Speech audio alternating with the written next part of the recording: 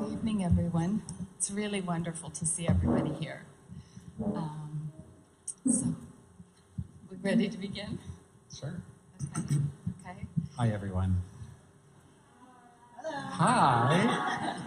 Takes a couple seconds to warm up, so just bear with us for a minute, and then then we'll be good, or I'll be good at least. um, but I did want to kind of jump off of what Mar- um, Mariah was saying before. Um, Jose and Matt are dear friends of mine, and they began that conversation. We had begun that conversation. There's Jose and Matt over there, and they were like, "You have to meet Nancy at Inform. She's lovely, and you guys will be kindred spirits." And so we had a conversation, and I remember sitting upstairs, and it was exactly that. As soon as I sat down, we began our conversation, and um, we just had this moment. We were talking about ugly pretty. Oh, right. Jolie laide. Yeah, and when her eyes just like Nancy's eyes just were sparkling as we were talking about ugly pretty, I'm like, oh my gosh, this woman is like a kindred spirit, just as Jose had said. So that kind of started the conversation, and then It was 30 minutes, and we were doing windows and workshops, and the workshops haven't happened yet. Don't worry, you They didn't will. miss them. They will. They will. Yes. Yeah. So it's been such a pleasure, and last week was just an indulgent pleasure. Having, if any of you visited, and I know lots of you did, while Lyle was in the window working, so gracious, inviting people into the store and really explaining the work and um, the way he works. And for those of you who might not know, the the busts are made from stuff from our homes and the store. So they're all made from what would technically be garbage or thrown out. So um, it was also amazing because we all feel like we're part of these pieces, which is really great. So here we come. First question. um, so, have you ever doubted what you were thinking of doing? Have you ever doubted yourself? And if you've ever doubted yourself, how have you dealt with it?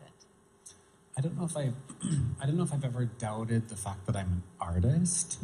I think it was more about figuring out where that artistic journey would eventually lead me to. Where, how would I get from point A to point B, and what does point B even look like? So it wasn't about like, do I want to be a mathematician or a scientist? Never an option. Me and math, terrible. Um, so art was from day one so i never questioned that. I like i remember as a little kid uh, i would ask for crayons before breakfast and that was just kind of the thing. I wanted my crayons i wanted to doodle and i remember wanting to draw perspective before i went to kindergarten and my mom who's brilliant and she saw this little kid taking a crayon, like stabbing it through a piece of paper over and over again, and she realized, well, my son isn't this isn't an aggressive child, and like, why is he doing this? And then she realized that the house that I was drawing, she wanted, she knew that I was trying to make it 3D, but I didn't know how to do 3D when I was four. So she was like, Lyle, I think that we need to have a lesson. And I was like, okay. And so she taught me, and was the house and then a package of lifesavers, how to make that cylindrical shape. So I remember going to kindergarten. And I feel like I'm kind of ignoring you guys over here. I'm sorry. Hi, Milo. Um, and so, bef- you know, I was in kindergarten and I was like, why does my house look like this and the other kids' houses look like this with the sun and the little, you know? And, um, but that really was the start of it all. So there was never doubt. I know that was a very long answer to your question, Nancy. Um, But surely, it, it have when things don't go right or when you can't, um, you have dreams and you're working towards them. I'm just wondering how you Yeah. deal with that kind of adversity, or if it's adversity at all. It might not be. It might be the best thing happening. That door closing and some other door opens. yeah, I mean, How do you look at it? there was definitely, I would be lying if I didn't say that there was tons of ad- adversity growing up. I grew up in small town Saskatchewan with a population of less than 180 people. note the complete lack of zeros after that 180. Because I remember telling someone, they're like, oh yeah, I grew up in a small town too. It's like 110,000. I'm like, no, no, no, sweetie, it didn't say 110,000. I said 108. Done. Um, but yeah, so growing up there and never, I was, I never belonged. I never fit in. And um, when we talk about dreams, so many of those dreams I didn't even know were even possible because there was no, there was none of that stuff to even touch on or to have access to. It just didn't exist. So it's not like I could, you know, and Google didn't exist back then. Computers were just like, they were coming in in grade seven or something like that. Was crazy. So, anyways, um, getting out of small town Saskatchewan and then realizing that there is a world out there that is endless of possibilities and you can go after these dreams, then it's just those internal battles of, um, I think it's a classic scenario of, you know, imposter syndrome in different events or different situations. Sometimes I'll be like meeting someone, I'm like, I cannot even believe that we're sitting here in this moment. Um, Viktor and so Viktor and Rolf, the designers, they wrote the foreword for my book, and I remember getting an email from them. And I first of all thought it was a joke. I thought they were punking me, and I was like, "Ha ha ha! That's so funny that Viktor and Rolf wrote this message to me." And they said, "You know, we're big fans of your work, and we want you to come to Amsterdam so we can meet you." And so I kind of thought carefully about that answer and thought, you know, maybe it is legitimate. I'll just send them a message back. And then weeks later, I'm in Amsterdam sitting at this table up in their atelier in their beautiful space. And imposter syndrome and the doubt of like, I, like I idolized you guys, and now you're telling me that you're big fans of mine. And they're like, we'll do whatever you want us to do. Just let us know, and we want to support you. We believe in your work 100%. And I went back to the hotel and I sat there on the bed and I burst into tears and just was so emotional because I was like a, a moment where I didn't know that that could happen, that dream could happen. And then when it was actually happening, then you're like, wait a minute, like, this can actually take place. This can happen. This is a real thing. So, but there's been many ups and downs in terms of just dealing with life stuff, breakups. I think that those kind of put a little, do a number on you. And it's hard sometimes to get out of bed in those moments, but then you always have your art. You always have that one true thing that you can always come back to. And and this is this is my heart. Yeah. That's a hard one to follow up after. So okay the other question is totally dumb. What's my favorite color no it was just like i know um, kaido-san here he has a little motto he says in the morning um, do you have a motto? Do you have a thing like, you know, like do you have something that you that you say to yourself because you just want to keep that intention, you know, first and foremost, yeah. and you kind of use it? Yeah, it's it's all about I say, you know, trust your gut, trust your instinct, and everything that you do, do it with love. That's it, done. And I think that's the best way to not just in art, but that's how you should live your life. You you don't question those things. You do it because it's from your heart. Um, and when you do something that's passionate, that you're passionate about, that really truly does come from within, people sense that. They can feel that. And one of the nicest compliments that I've I remember reading a comment one time, and they said, Lyle, we we love your work, but we can tell that what's behind it, there is a true, authentic spirit, and you do it with love. And when I was reading it, I was like, are you inside of my brain? Like it was very bizarre that they had tapped into that. And it's the most um, humbling.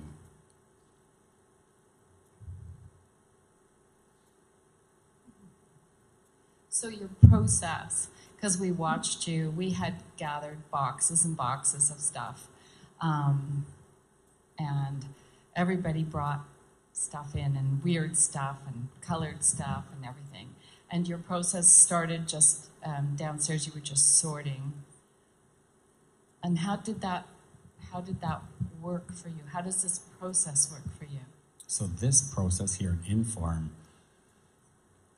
um, so all of the boxes, like you said, are there, and you go into it, and you don't, you try not to think too much. You just experience everything that you're looking at, and things just automatically will jump out to you. So it's like this shape or this color or like this texture, and you haven't processed any of it. You're just, yeah, I'm attracted to this, I'm attracted to that, and you just start to do that. And then as you're doing it, then you're like, oh, wait a minute, there's something happening here with this, or there's a, a moment that's happening here. Um, the look, um, I think you actually picked up the piece of blue sponge, didn't you, Nancy? Mm-hmm. So there's a piece of blue sponge that was framing something. I don't know what it was framing. It was piece on the Boffi kitchen, I think. Okay. Upstairs. I think it was one of the doors or something. Yeah. Yeah. So Nancy had brought this piece of blue sponge, which is actually in the sculpture in the front window on that side. And when I saw it, it's this beautiful, like periwinkle blue, and there's a piece of like kind of ochery tape that was on the one bottom corner. And rather than taking off the piece of tape, I was like, well, that's the color story right there. It's asking to be made into this piece. It's saying, Lyle, here's your color palette, like, go to it. So that created the whole piece was based on just that piece of tape that was stuck to the sponge. So it's all very instinctive, it's intu- intuitive. Um, and yeah, you don't question it, you just. And then when it starts coming out, that's the fun part because it happens here in the window, but it happens every day in the studio where this will probably sound silly and you can judge me later after you leave. Um, but uh, it's like your hands are being puppeted by like it's like a Pinocchio kind of moment where your hands are doing something and you don't know what they're actually doing, and they're making something and you don't even know what you're making for real. And then all of a sudden something's on your table there in the studio, you're like, huh, that's really cool. My hands just did that. and it sounds like super elementary and basic, but it's the truth. And to just trust that your hands are going to cut and glue and paint in the way that they're supposed to, and to not ever um, critique that. It's just pure. So that judging or you just cut that voice out. Yes. Yeah. because I think that once you start, once you start asking yourself or questioning yourself in terms of, um, is this going to be cool? Are people going to like this? How is it going to be received? Um, are people going to buy this? It takes you off the path of authenticity, I believe. When you do it because you have to do it, you have to create, that's when the truest art comes out because you haven't done it with a motivation of like, well, I can see it hanging on the wall in this person's house and they're going to pay this much money for it. That's not the, I don't think that that brings you to the place of authenticity. So I just shut that all out and just do it. But we still had, like, we knew we had a, I, five busts. So there was a, like a little bit of structure, Yeah. and we had a timeline. Yeah. Yeah. And I didn't think he could make the timeline. I thought you just, I just didn't, you worked so quickly. It was just uh, shocking. I mean, you had one and a half done in a day. It's just like, whoa, it was crazy. It was crazy because he seemed so intricate and so much thought and depth and everything. I do know that you did do some of the work at home in front of the TV. Yeah. Yeah. Some of the paper rolls and that kind of stuff, the mind numbing things that are kind of like you wish you had like a minion to do. Um, I don't have a minion, so How the TV So- works. yeah, absolutely. Yeah. Do we want to talk about some of these pictures? Yeah. Or, Yeah, absolutely. yeah. Okay. Oh, I love them. Okay, so this was the very first, um, the very first shoot uh, for an international publication. This actually again was shot in Amsterdam, and it was a five-day shoot for Candy Magazine, and I was I got a very big spread. I was very happy. The only person that got she got one more page than me was Miley Cyrus. I was like, that was pretty close. And for the first one, I was like, I can't complain about that. But that was from uh, the the main piece here is from a dear friend of mine, Charity, and she's an orthodontist, and so that was children's orthodontic gear, and um, the bra parts were from coworkers at work. I remember the day when I asked them, I'm like, "Could you bring in your old bras, but like the nude color of bras that you might be getting rid of?" And they're like, "Okay, well, whatever." Um, but yeah, so then that was the that was the very first one. So this picture always has uh, like a, a special place because that whole experience working with the team in Amsterdam, they treated me like like a, a royal. They were like feeding me little pieces of like apple into my mouth as I was standing. It was it was lovely. It was a great experience. I'm like, can I just have another person to like feed pieces of apple? Um, no, it was great. Um, this is we. I wanted to show some images from the book. Hello. Um, so yeah, I just thought I could show a couple of these. I remember really contemplating about. You can't really see it that good in this picture, but the makeup. I was really thinking about like, because I made the sculptural pieces. I took apart all the doilies and all of that. And I like this juxtaposition of like old lady doilies with like very street basketball, you know, boys in the hood kind of feeling, girls in the hood, I don't know, whatever. Um, and then the print on the texture of the basketball was like, there it is. So I just started painting on pieces of basketball and laying them onto my face. And it just printed out like you can see all the little bits of white, and then the stencil of the the rolling or Rawlings or whatever you, however you say that brand. Clearly not a basketball fan, um, but then that just was the the makeup. So that one is in the window. This was the cover of um, the book. This one has a lot of um, personal it's very personal. And so Fabien Baron, he did the direction, the art direction for this book, and he asked, you know, Lyle, what is the image that you want for the cover of your book? He's like, can you give me some options? And I just kept coming back to this one because I always like the concept of things that are like all white, very monochromatic. And so I chose this image, but I said, the reason why I'm choosing this image is that it really is so many parts of my soul are in this. Um,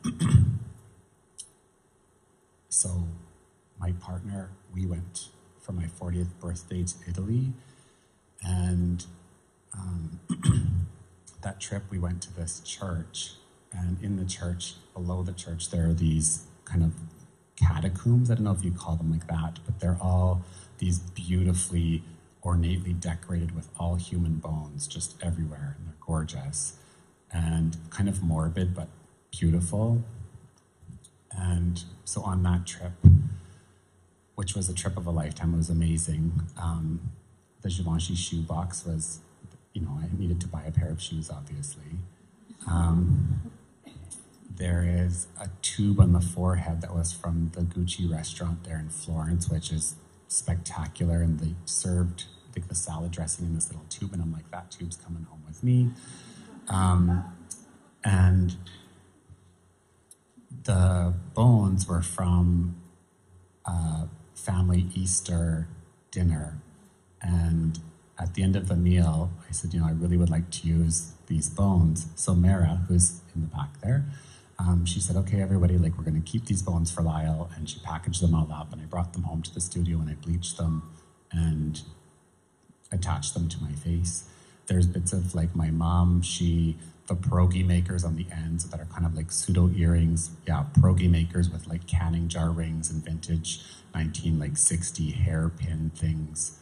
Um, so literally there's parts of my family and my partner and the people who I love so dearly in this world are all part of that image. So it just made sense to have that as the cover.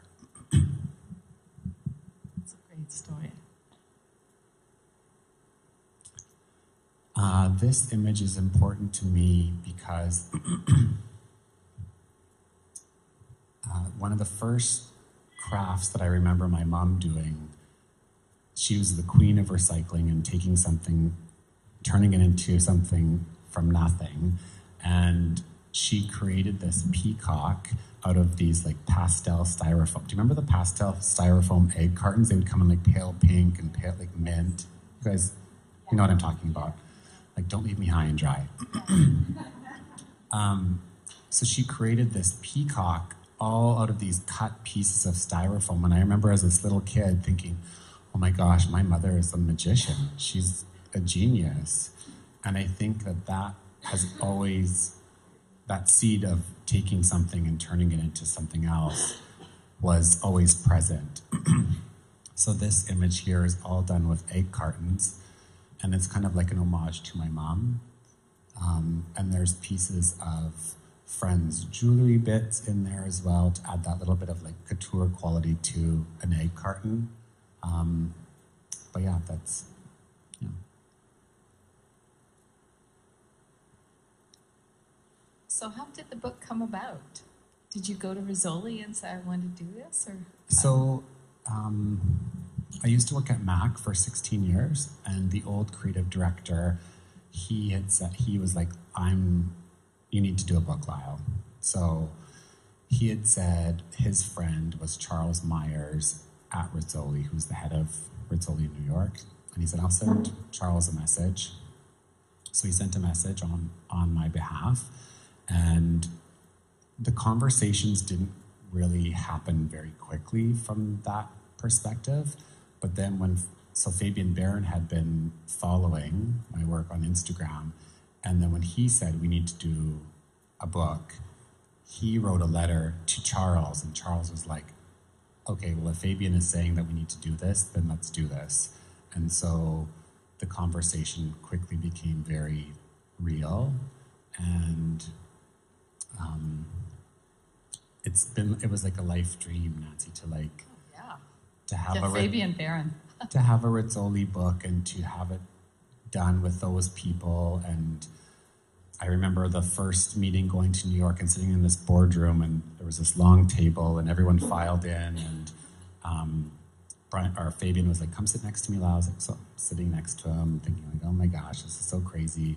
And then they had the big projector on the one wall, and they started showing me the cover and the different options for text and stuff and my eyes totally filled with tears. I'm sure none of you are surprised about that by now. Um, but uh, he's like, You don't like it, Lyle? And I'm like,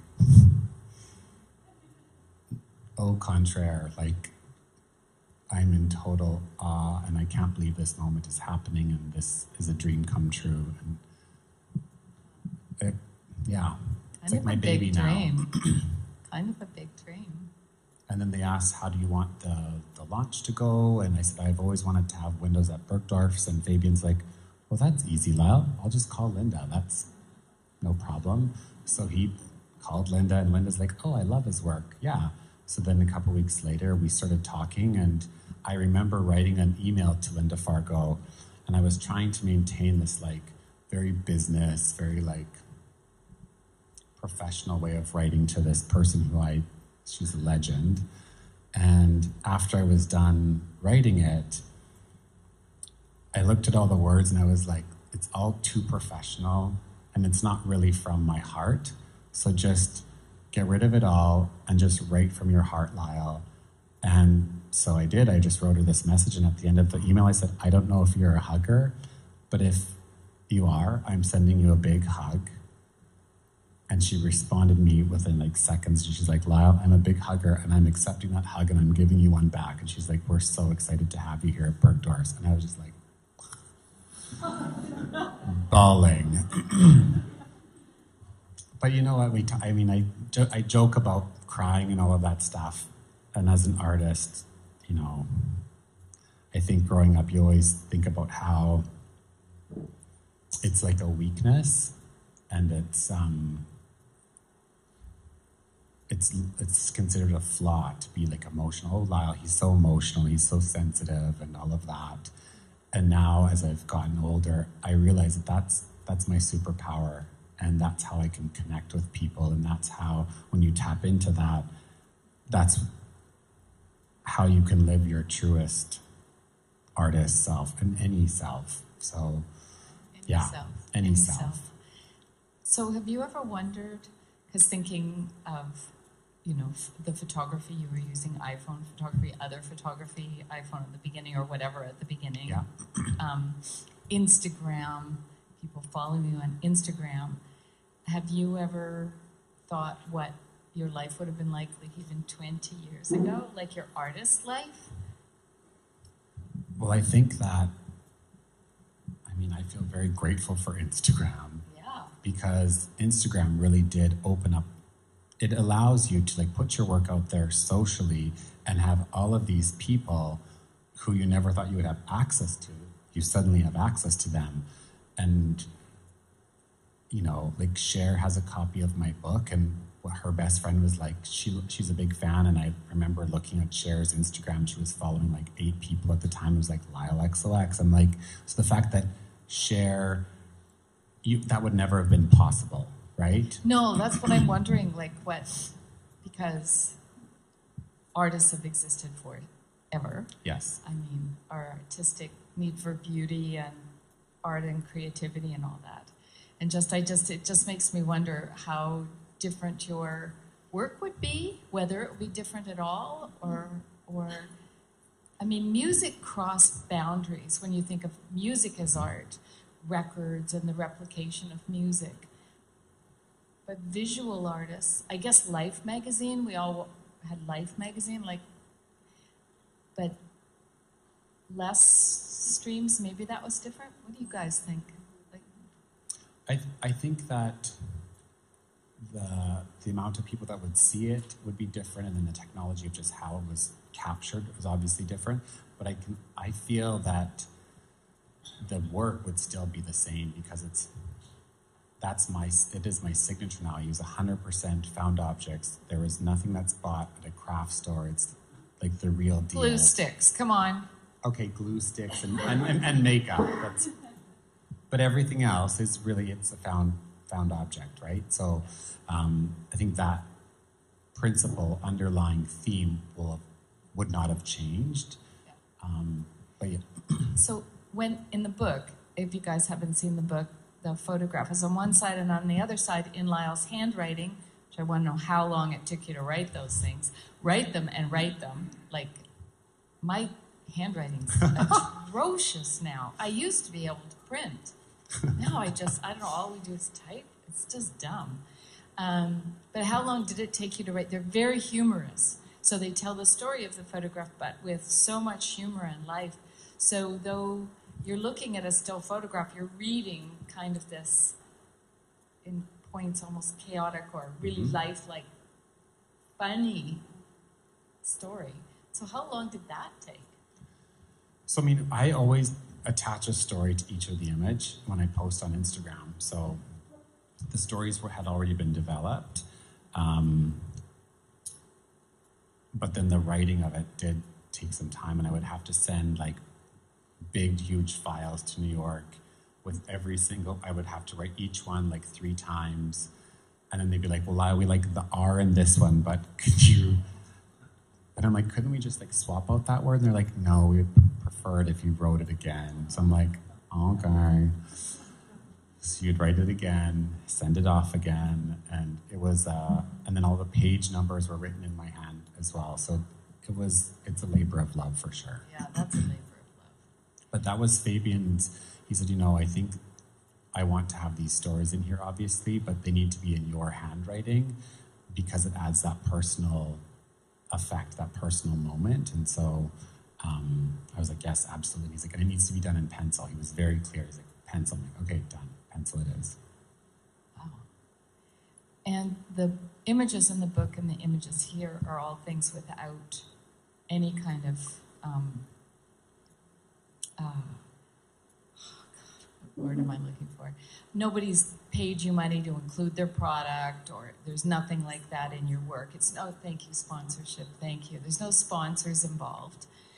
Do you think in the future people are going to want you to put their stuff in your work? Have people approached you? What are you going to do? Well, my so my first collaboration was with Gucci, and they contacted me. I remember being on the SkyTrain and getting that message from their PR department, and again, I was just like, "This isn't real. I should probably just stop thinking that." Um, but you know, they're like, "We love what you're doing," so so then as soon as we started that dialogue, I said, "Well, I would really love it then if you would send me your garbage from your atelier." And they're like, Gucci doesn't have garbage. quote, end quote, for real. I was like, uh, I'm pretty sure you do. Um, but okay, maybe you just don't have any trash that ever touches your floors. Um, but they said, but we'll send you a brand new handbag. I was like, okay. So I was at another job and I got home and there was this beautiful box and I opened it up and I went to the immediately into the studio and grabbed a pair of scissors and I was like, here we go, and just started cutting up this beautiful new Gucci bag and cried a few fashion tears. And uh, but I was like, this is what I do. So I'm not you when you asked me to do this project, you knew that you were going to get this. So were they happy? So they were I was told they're like Gucci are some serious picky bitches, if I can say that. Sorry. But those were the words there. Like, Gucci has some serious picky bitches there. And, you know, just so you know, Lyle, you might have to do many edits of the image. So I was like, okay. So I remember like getting the email ready to send, and I hovered over that button for so long, and then all of a sudden I was like, mm, do it. And then I woke up the next morning and they're like, we love it. No edits needed. And I was like, yes.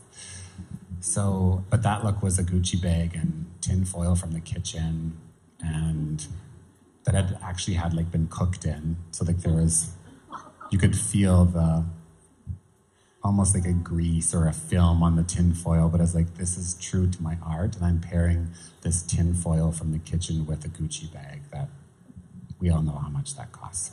So, um, my partner's old uh, compass and protractor, like geometry set from elementary school, many, many moons ago, incorporated. Um, that's not my hair, everyone asks. It's just a piece of magazine. Um, this picture here, I always feel a, a connection to this piece because my grandfather, who no, who no longer is alive, we never really had a very good relationship. He lived in Louisiana in the backwoods. Let's not go there. Anyways, um, but he always said that true men wear Old Spice deodorant. That's what real men wear, Lyle. And I was like, okay, I got a lot of work cut out for me. it's going to take more than Old Spice. Um, so this was kind of like a nod to my grandfather, and that's why I really felt that it needed to include elements of like army and military and like beer drinking, the coaster and stuff that's been completely manipulated, but then it needed to have like kind of this 1960s updo thing happening to kind of m- mesh all those worlds together. So, anyways. And there was a very special day at the atelier in Amsterdam with Viktor and Rolf. And That's the first picture that you see in the book. And I remember them coming into the studio space and they were in their jeans and t-shirt and they said, you know, Lau, what do you want us to wear? And I was like, I'm going to tell you what to wear. They're like, yeah, like you're directing this, so just tell us what you want to wear. I'm like, okay. So they had their assistants bring the clothes in exactly how I had requested, and they were the most gracious, lovely humans. I can't say enough good things about them. And every once in a while, now I'll get a text from Rolf, and he'll be like, "Hey, Lyle, how are you? We're in Paris right now, and just wanted to check in and see how things are going." And like, just lovely. So um, it's always nice to meet people who you look up to, who are actually nice and kind and do good things out of their heart. I think it's so refreshing to meet people like that. So I still believe most of us are like that. I like that you believe that. I think so. So I know a lot of people from around the world send you special garbage now. Think about it. Yeah. We have a drop box here in the back of the store. If you have anything you want to drop off ever, got three boxes full at the moment. Well, not quite full. Anyway, what is the most extraordinarily, oh my God, thing that you got? Or from whom? That's a really good question, Nancy. Um, I stopped. Uh, I remember a, friend from elementary school. She sent her, sent her daughter's mouth guard. She's like, she wanted to- her daughter wanted to be part of the art, and so she wanted to give it. And she's like, "Well, would Lyle use this?" So she's like, "Just for the record, it was sanitized like a million times." Like, um, so that was a very odd thing. Recently, though, from Mexico City, a box, excuse me, a box came, and this woman had been collecting all of these metal hearts from all over the city. Yeah, and they're like these tin pieces of like really flimsy metal, but some of them have like that classic kind of Catholic iconography spikes around them, and they're aged and patinaed, and you can really tell that they've been like collected from around the street. And she's like, I really hope that you can find a way to use them. So I'm itching to get back to the studio and make a piece with them for sure. That's awesome. Yeah. That's awesome. Do you want to do some more photographs and then? Um, this was a collaboration with Moschino and Jeremy Scott. So Moschino sent me all of their. So they did have garbage. FYI, Gucci. Um, so Moschino did have garbage, and this one was all made of the bra pads, shoulder pads, um, lingerie tags, tags, and all sorts of stuff. Um, we shot that in LA. And same with this look here. This was all like shoe prototypes that were completely taken apart and different fabrics that were dipped in glue and rearranged to make more like floral kind of shapes, hand painted. Um, and they just, they were so gracious about giving me as much time as I needed. They weren't rushing me to get done. Jeremy, Jeremy would come and be like, How are you, babe? Like, do you need anything? And just take your time. And so I would spend hours creating them, and then I'd come out. And then he's like, You can go into my closet and choose whatever you want. So I would choose, because I like that the clothes are not really clothes, they're more just structural pieces. Um, and then this was for Vogue Italia. Um, this one here, this was shot in Paris, and on the flight over there, the, the flight attendant had um, given me a pillow to use. And so as soon as I saw the pillow, I loved the color of it, that kind of like hospital, like, I don't know. I'm like, I know where this pillow is going. So I took the pillow from the flight and I don't know, I guess I have a thing with these old bras, but I felt that the bras, I don't know, tapping into something here, ladies. Um, so, yeah, I felt like the bras just, and the color palette, you know, it just all worked, at least in my mind, it did. And so I got to set, and the, none of the makeup had been planned for this particular one. And uh, I sat down and I kind of was like, okay, well, I always pack like a suitcase just filled with other random stuff just in case something else will spark the imagination. And I just saw this bag of old rubber bands that were so, like, so old. Um, and I think I was like, I think that's the look. It's just rubber bands. Let's just keep it simple. And so it was rubber bands, bra, and a pillow from the airline. Voila. But you glued it on your face. Which you took glued a- them on your face. A long time. I cannot imagine what your days are like when you're doing the shoots. You said there was lots of time in some of them, but some of them must be like, okay, we have a budget, we got a schedule here.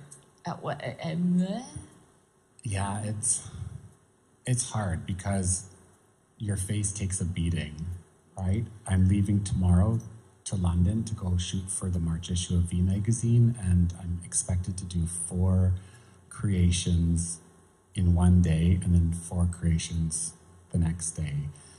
So if anyone wants to put out positive energy or vibes into the universe on the 17th, or sorry, yeah, the 17th and 18th of this month, I will graciously accept those positive vibes because I know that uh, I will be exhausted by the end of that shoot um, and my face will be ravaged. but you're a professional and you do what you need to do, Yes. right? I mean, isn't fashion a bit like that also? Yeah, I think that there's always these like crazy time constraints and there's limits and but everyone's there for the same purpose of creating something that's beautiful and you just kind of bond together and there is a deep appreciation for everyone in the room that's bringing their own craft to the project and so you just go with it and know that at the end of the day the, that beauty will be, have been created. So I'm very excited about this particular shoot.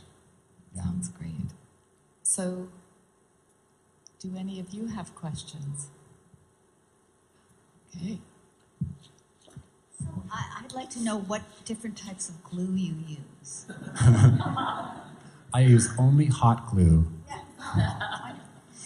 Um, so there's a surgical adhesive that I use called Pros-Aide that is really, really strong. It's like, let's say if you were born with some facial um, abnormality, if I can call it that, for lack of a better word, that seems very politically incorrect. But let's say if you were born without a nose, for instance, and you had a prosthetic nose, that's the type of glue that a, a surgeon would actually use to put on that piece, that prosthetic. So it's very intense. It can hold like a lot. Um, and then in terms of the other glue, like Gorilla Glue, they send a lot of glue to me now. They're, and uh, they're like, "Have you tried this new glue, Lyle?" And I'm like, "Gladly." Um, but yeah, it's Pros-Aide is very it's important. Yeah. Thank you. Anybody else, practical or not? Okay, I'll get. Hi, Hi. your work is like astounding. Thank you. It's such a pleasure to be here and learn more about you and your process. Thank you. It's just um, really awe inspiring. I'm going to start crying. it's very moving. Um, so each piece is such a unique creation and piece of art. I'm wondering, once you have that on your face, I mean, how do you save it? or do you? Or do Yeah, you I was told by a gallerist uh, recently. She's, he said actually, he had said, Lyle, there will be a day when they will want to do a retrospective of your work, and you will want to have kept every single piece. So every little chicken scratch that you do on a napkin on an airplane, anything that you do, keep. So I've kept as much as I possibly can. Sometimes excuse me, sometimes when I'm removing the piece from my face, sometimes they're so delicate that you will lose things. But in, but typically, everything is kept. They're bagged. There's a storage facility in North Van that now things are getting put in there. Um, I think I'm going to need to have someone who's very gifted in the organizational department come in and like give some semblance to order of that. Um, but for right now, I've kept that. And then in the studio, I like to have as much stuff around me as possible so that it's constantly inspiring me and triggering other things. And so those pieces are like on a big giant magnetic board and they're magnetized all over the wall. And I like to trade those out on a regular basis so that it's like your own kind of window dressing in a way, so that that's a constant source of inspiration. Um, yeah. Thank you. Thank you very much. Um, so I know we've spoken at length when we were doing the window, um, but you started out doing these things at home and taking photos, you said, in like your shower stall. Um, as you become guess, more well known, done the windows of Bergdorf, worked with Gucci and Viktor and Rolf, and even collaborated with us here at Inform, how has that impacted your work and how has that has it changed any of your understanding of yourself and why you're doing this or That's a great question. And before I answer the question, I have to say a huge thank you to Kaido, who was so helpful here at Inform. Like, That's Kaido. so amazing. Thank you very much. Like hanging stuff, and no one needs to come down this millimeter, and he's he's incredible. Um, I was going to say, um, can you refresh my memory just two seconds, Kaido? What were you? What was my question? um, how has the collaboration Oh, yes. work changed how you may view your own work? So I've I've understood because when people are asking you questions and you're having to like really think, because sometimes I'm like, well, my hands are just doing stuff, and then you can't just always say that. People are going to want a little more than that. So I'm like really taking. I really took time to kind of figure out in my mind what am I doing, why am I doing the things that I'm doing, what am I attracted to, etc. And one of the main things that I keep coming back to now, which I've become completely, I'm aware that I'm completely obsessed with, is the concept of story. And what I mean by that is that all of the garbage now that gets sent from around the world or that's gifted from friends or family members, there is stories that have been embedded into each of those pieces. So those tin hearts that were shipped from Mexico City that were found on a street somewhere. I'm like, where did those hearts come from? Whose house did they belong in? Why were they purchased? Or were they handmade? Or, you know, was it a family heirloom? There's all of these different stories that are embedded into each of those pieces. Um, and there's so many stories, even in the mundane objects of everyday life, that we completely disregard. Like a tube of toothpaste that's you know, someone in a factory, maybe they didn't actually make that tube, but they pushed a button, and what was their life like? What is their life like? And going to this monotonous job of going to a toothpaste factory every day and like pushing buttons, like what is what is your life like? So I love figuring all of that out, or at least making that up in my mind, and using all of those stories and those pieces of garbage, and then giving them a new additional story or a new life to those pieces. So I think how the work has changed. Kaido is more about the understanding of what fascinates me and why I do what I do. And yeah. Yeah.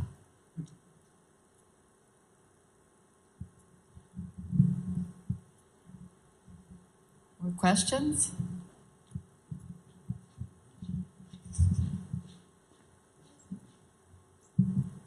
Hello. Um, Hi, Paul. How are you? First of all, I can organize things really well. Yes, You know that.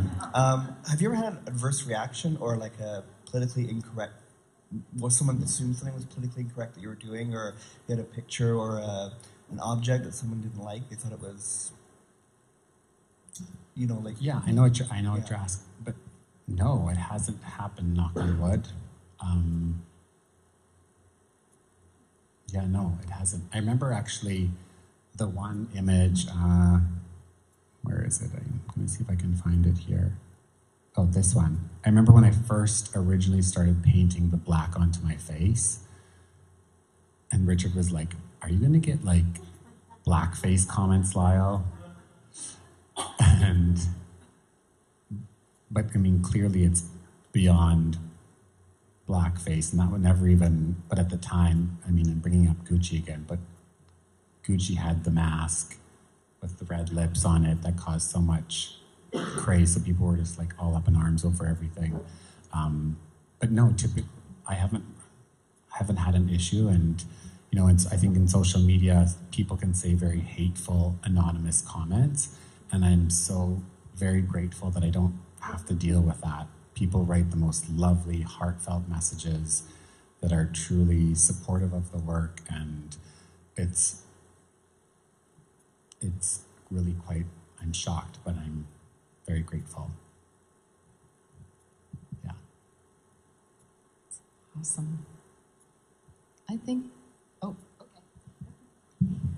Um, it was great to hear about Instagram and how you feel like that's allowed you to expose your work to everyone and like all over the world. But do you feel like if you had grown up in this age where you're bombarded by these images, it would have taken away from your creativity and like it would have limited you because you would be like, oh, someone else has done this, so it's no longer a new thing.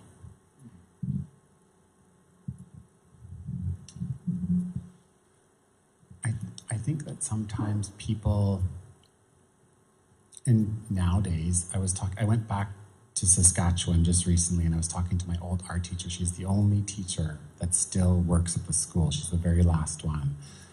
And it was so nice to see her. And we had this amazing conversation. And she said, You know, Lyle, nowadays, the kids in the art class, as soon as they have a conversation, they just pull out their phones and they're like looking for inspiration on their phone. And I was like, You're allowed, to, they're allowed to have their phones in this in the art class? And she's like, Sad, but it's true. I'm like, Well, something's got to stop there. Like, let's put that away. She's like, But, you know, this is their day and age and this is how they relate. And I'm like, Okay, valid. It's just a different way of thinking, so we need to embrace that.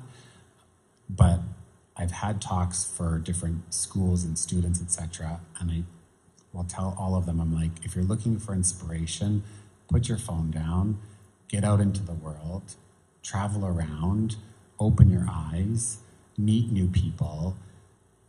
All of these kind of things are going to bring inspiration to you that's beyond your phone because so often people are like, well, who is who's a let's say a makeup artist that you're inspired by? I'm like, well, I don't I appreciate many makeup artists, but I'm not inspired by makeup artists. And for me to go through a bunch of makeup artists things, I think that that's actually just going to do a disservice to my own work because then I will have those thoughts kind of subconsciously in my head. And I would rather look at, you know, crossing the Burrard Street Bridge and seeing yesterday, I was like, oh my gosh, this person's wheel fell off their suitcase. That's a cool shape. That's coming to the studio with me. and so that will get, like, I mean, that's inspiration, you know, I feel. And so that's what I would encourage people to kind of make that separation. Phones are great, they do a lot of amazing things, but there are so many other sources of inspiration out there. Open your eyes.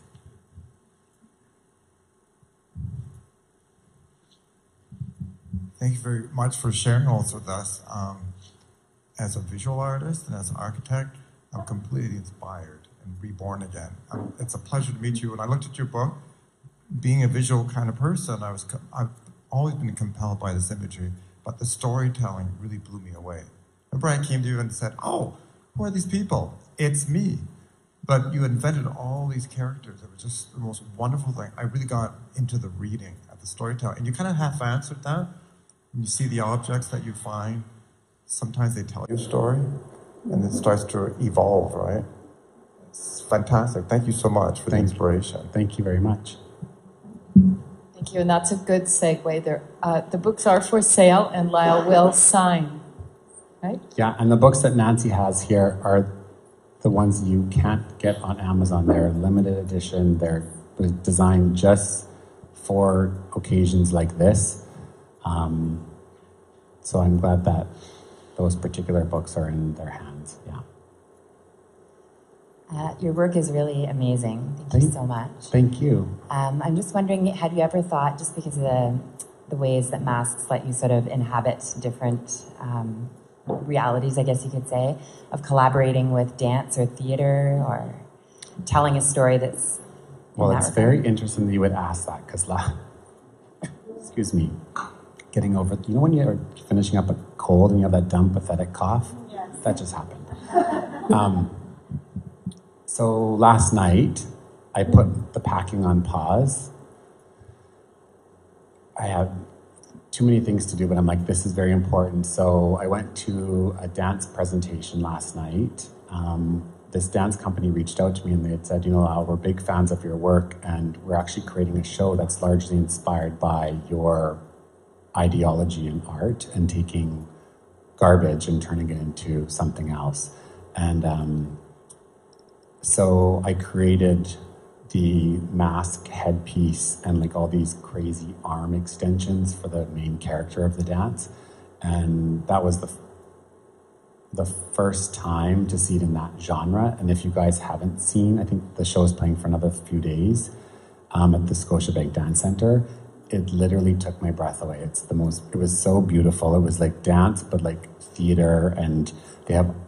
You can see how the concept of like garbage and found objects. They're like running across the stage, like inanimate objects, literally like running across the stage. The people, this like deity creature is like pulling into her world that she builds into this. And then she has this unveiling at the end where she's just covered in garbage that's all dipped in white. Um, anyways, yes, I love dance and I would totally do more of that for sure.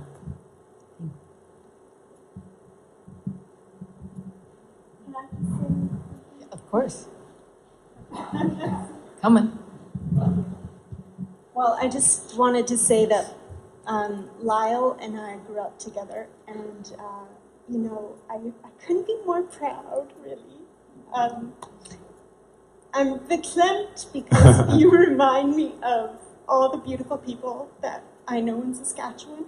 I often hear that, like, people from the West Coast or various other places in Canada talk about Saskatchewan people that they've met, and they think that they're so lovely and that they're the salt of the earth. And I think that you are the best representation of that, and I'm so proud of you. And honestly, thank you for spreading that. That's awesome.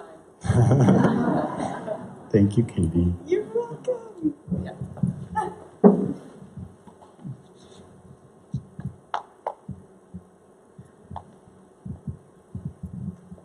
Katie was always the prettiest girl in high school. And I always was embarrassed to talk to her because, like, she's so pretty. I can't actually talk to her. But then, because my brother was the president of the high school, then I kind of was like, had access to the pretty girl. And, anyways, so. It's lovely. It's lovely. And I agree with you, though I wouldn't limit the fact that he's a nice representation or good representation of Saskatchewanians. Is that what you are? I don't know, whatever. I think of just the human race. Yeah. Yeah. Think of a little bit more broad. So thank you all for coming. Thank you very much, Lyle. Thank you, Nancy. Thank you, everyone.